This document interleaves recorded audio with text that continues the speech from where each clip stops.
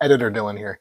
So, for whatever reason, my phone decided not to record with the external mic. It says it's doing it now. I'll find out when I go to add this in. Uh, I didn't have enough time to refilm this video because this wasn't the video I was going to make this week. I was actually gambling on UPS delivering my package today. That did not happen. It got delayed. So next week's video is going to be really solid. Sorry about the audio.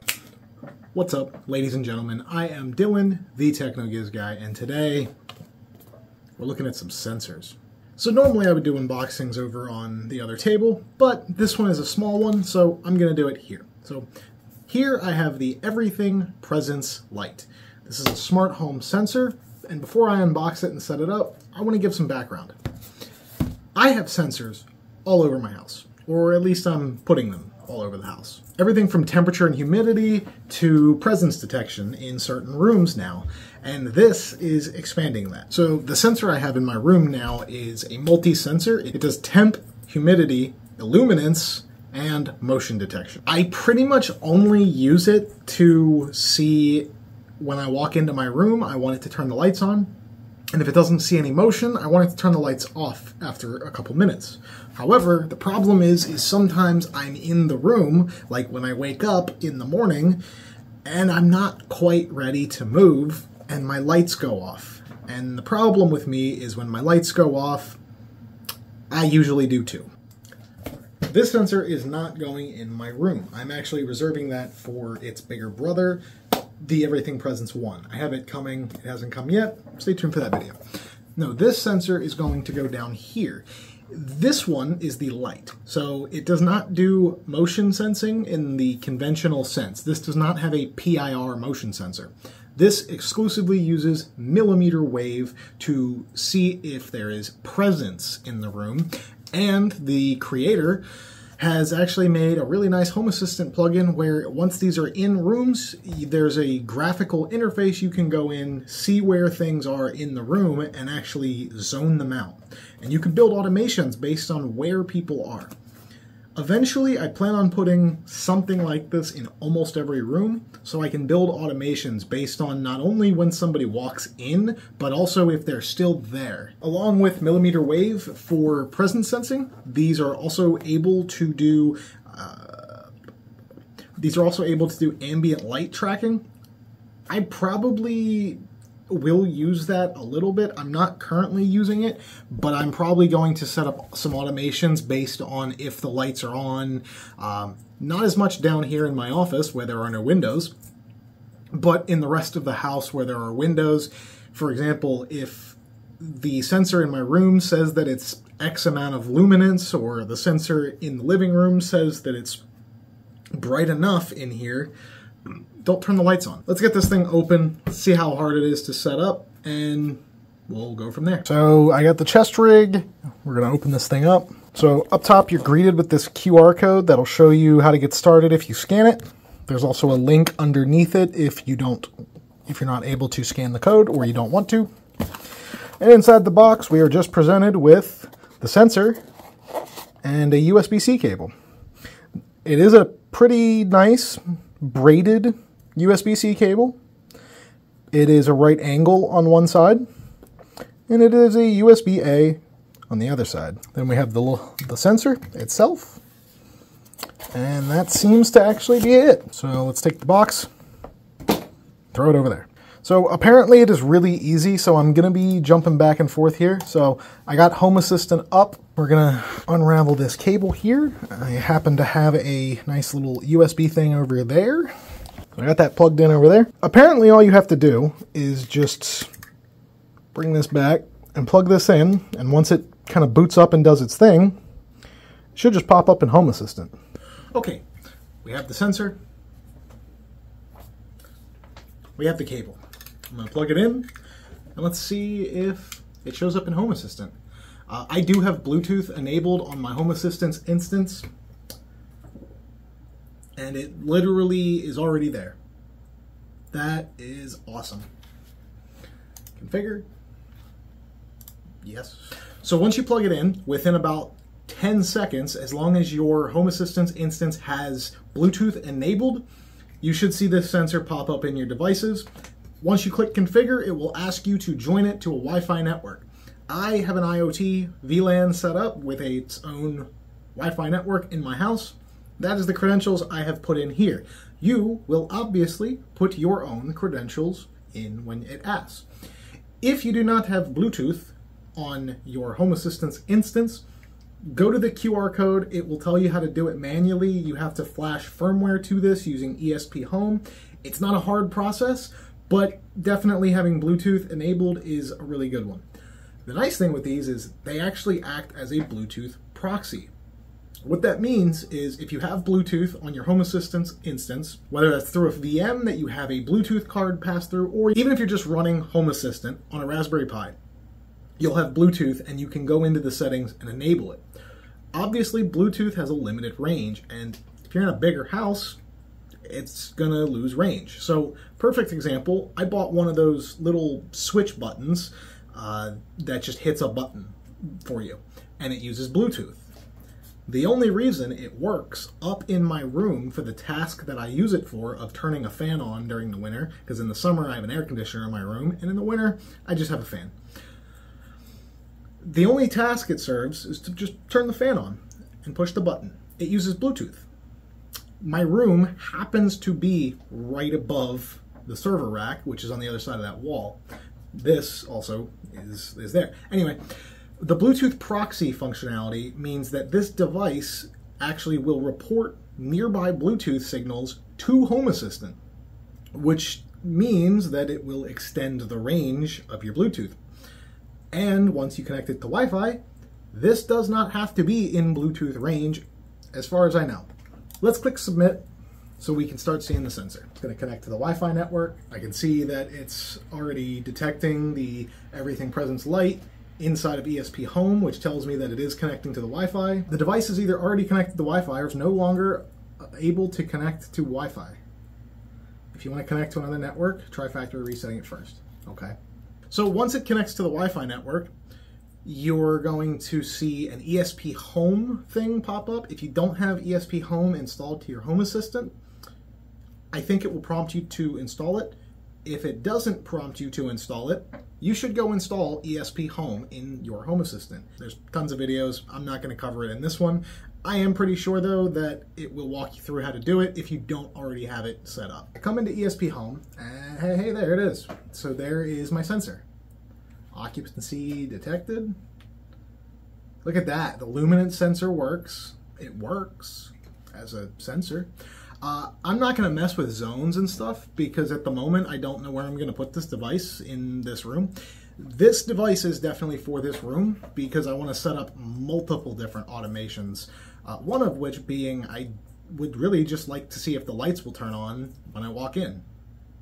Judging by how fast this thing seems to detect, I don't think that will be a problem. I am going to at least show you guys that tool that I mentioned uh, where they have the zone. So if you go to the Everything Presence website, which is everythingsmart.io, um, by the way, the product is great. I bought the product based on other people's reviews of it and I wanted to try it. That's why I bought this one and the Everything one. I wanted to try both because I have needs for both. That being said, the product aside, the YouTube channel behind this, Everything Smart Home, great channel. Go check him out. You probably already know him if you're in this space, but if you don't know him and you're in the smart home space, go check him out. He is awesome and he's providing to the community because I mean, he's making these products. You can buy these as kits and build them yourself.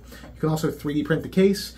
Uh, I decided to just go with the injection molded one. But anyway, once you come over here, you can come to the guide. I'm just gonna jump down here to Home Assistant, go to Creating Zones, open the add-on store, and put my Home Assistant URL in here, and there we go. It's just gonna add it in there as it looks like a repository, and then it's not gonna let me close. Okay, so now, yep, we have everything presence zone configurator. I'm gonna install that. Okay, so I have it up and I'm walking around because I, I had it pointed at the door and I now have it pointed back at my desk and you can see uh, on the map where it's kind of saying that I am. Now, I'm going to point it back at the door, I think. So I wanted to do this test. And yes. So even with the device faced towards the wall, where it technically should be able to see both the door and my desk, it can't. So, let's talk about that. So before I set this up in an automation and show you guys it working and send you on your merry way, we need to talk about the, the range, the, the, the field of view, we'll call it. So I'm gonna walk and I'm gonna see when it starts seeing me. Actually, having my monitors kind of like that makes it easier. Oh, it sees me. Okay. So if I move back this way a little bit, trying to see where the boundary is. So you can see on the map, I'm moving on there. So anyway, I have it, I have it here. I have it here. Uh, zoom out a little more. I have it here. I have it faced completely towards the wall. So in theory, it should be able to cover that way and that way. In practice, not really. Uh, it's kind of like a cone shaped coming out of it. So this is not mm, possibly the final spot for this. It's just what I'm doing for the testing.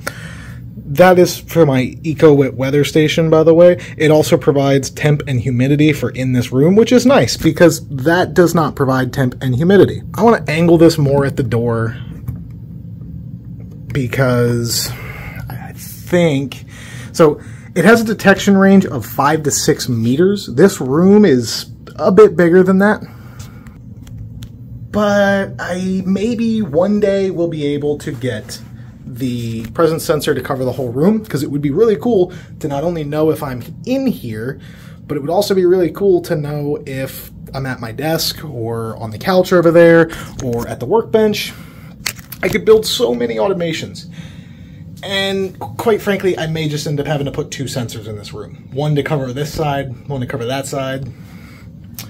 But so sensor is there, the door is there. I'm gonna build an automation really quick and then we're gonna make sure it works. Okay, so since I don't have a way of actually seeing if I'm at my desk and in the room yet, I'm still going to work on that. I might move that device around and see what I can do with it. Uh, I might even see if like I put it like on the back wall behind me and point it at the door if maybe it'll be able to reach that far just for the sake of detecting. But I'm going to take the camera we're going to walk upstairs. I'm going to shut the lights off, and then we're going to walk down and see if it works. Okay, we're walking down. Oh, wow. It got me before I was even at the bottom stair. Okay, it works, at least fundamentally. I'm going to play with it a bit, see if I can, like I said, work out uh, either putting it maybe on this wall facing that way.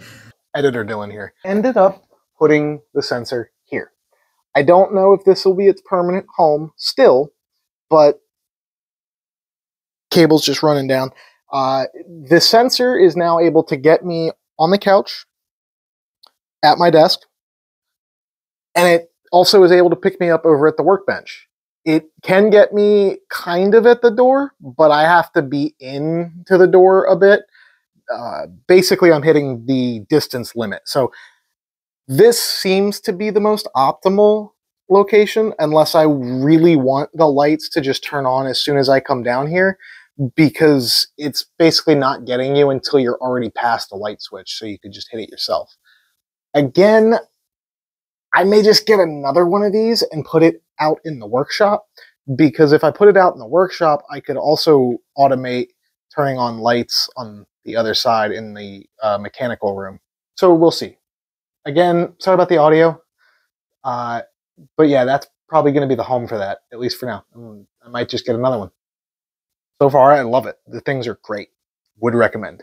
For example, it'd be really nice if I'm on the couch over there, if it would like shut my desk lights off, turn the TV on. Uh, that's an automation you can set up. But I'm happy with at least the lights because a lot of the times when I walk down the stairs into my office, I have my hands full. So it's really nice to be able to just walk in and the lights turn on.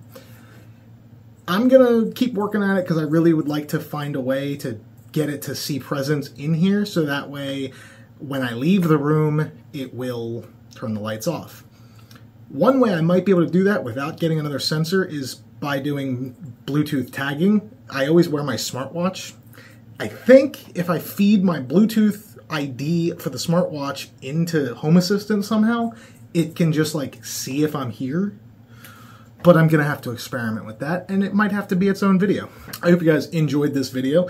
Uh, a little different than we do, but it's related. So, you know, it's a good quality automation video. I cannot wait to get the Everything Presence 1 in the mail shortly, so that way I can test it out as well. It has a PIR, it has some more features, it does temp and all that stuff, so it's definitely the big brother to this, but for down here in my office, I don't need anything fancy. I already have temp and humidity from my weather station. I just need presence detection. And quite frankly, that one works really well. So I recommend it. Uh, links not sponsored down in the description. Uh, I'll have a link to both the store as well as Everything Smart Homes YouTube channel. That's it. Hope you guys enjoyed the video. If you did, please leave a like. If you're new to the channel, please subscribe. I am Dylan the Technogiz guy. I'll see you in the next one. Remember, keep it peaceful.